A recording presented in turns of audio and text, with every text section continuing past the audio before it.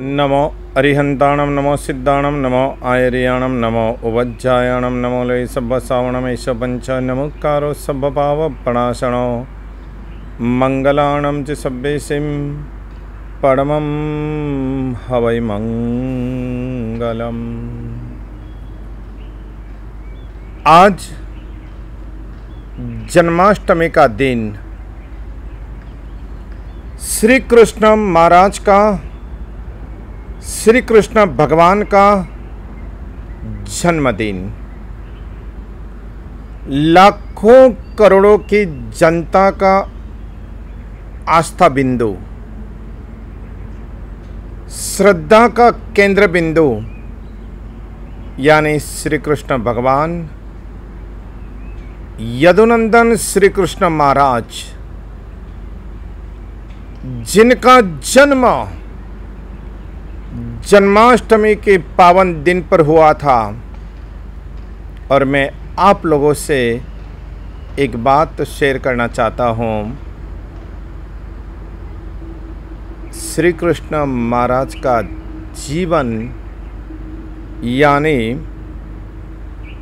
कर्म के अजीब खेल का स्पष्ट परिचय। जिनका जन्म हुआ जेल में, जिनका जीवन बीता महल में, और जिनका अंत समय जंगल में, मृत्यु जंगल में। जन्माष्टमी को आज का मानवी जुआ अष्टमी न बना ले, यही कलयुग की श्रेष्ठ सफलता मानी जाएगी। क्योंकि आज के दिन बहुत से लोग जुआ खेलने में मज़ा मानते हैं तो जुआ खेलने का पूरा प्लानिंग करते हैं।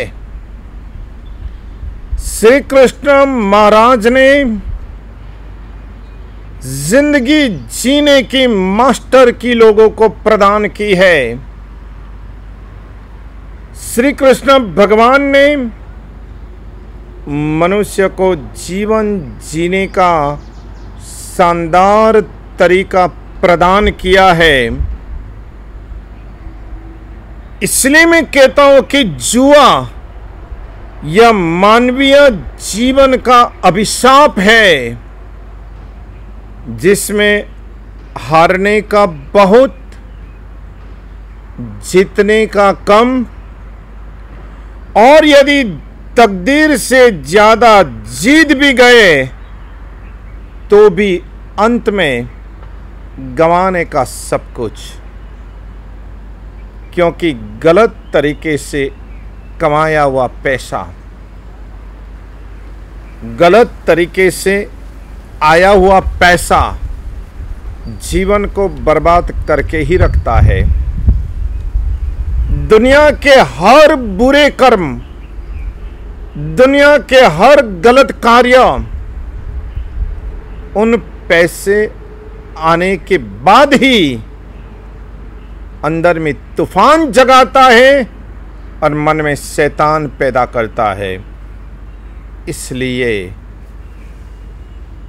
अगर गलत तरीके से पैसा कमाया तो समझ लेना ज़िंदगी पूरी तरह से बर्बादी के रास्ते पर आगे बढ़ेगी।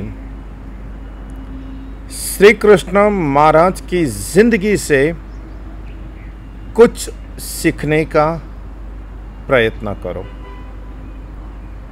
उनके जीवन से कुछ संदेश हम लोग प्राप्त करें। जैसे कि हर कार्य को भीतर की सूझबूझ के द्वारा भरपूर आत्मविश्वास के साथ ही करना। पॉइंट नंबर वन किसी भी कार्य को, हर कार्य को भीतर की सूझबूझ के साथ भरपूर आत्मविश्वास पूर्वक कार्य करना कभी भी आधे अधूरे विश्वास से, आधे अधूरे आत्मविश्वास से कोई काम मत करना। पॉइंट नंबर टू जल्दबाजी के बजाय धैर्यपूर्वक विथ पैसेंस निर्णय लेने की समझ को विकसित करना। किसी भी डिसीज़न लेने से पहले पेशेंस बनाए रखना, धैर्य बनाए रखना और फिर बड़ी अच्छी तरह तुम निर्णय लेना। पॉइंट नंबर थ्री समाज में किसी भी व्यक्ति को जाति, कर्म और धर्म के आधार पर विभाजित मत करना। किसी को कभी छोटा मत मानना। यानी आप पूरे मानव समाज को लेकर सबकी यूनिटी बनाते हुए सबको साथ ले चलना, परंतु जाति, कर्म और धर्म के आधार पर भी खंड खंड टुकड़ों में बंटवारा कभी मत करना, मत होने देना, वरना वैर मनुष्य बढ़ेगा। एक दूसरों के प्रति दुश्मनावट पैदा होगी। एक दूसरों के बारे में वैर और जहर के बीज बोना शुरू हो जाएगा। इसलिए विभाजन कभी मत करना। सबको प्यार से साथ लेकर रहना, लेकर चलना और किसी को कभी छोटा मत समझना। पॉइंट नंबर फोर, यदि ज़िंदगी में सफल होना है तो किसी भी काम को छोटा मत गिनना। किसी भी काम को छोटा मत समझना।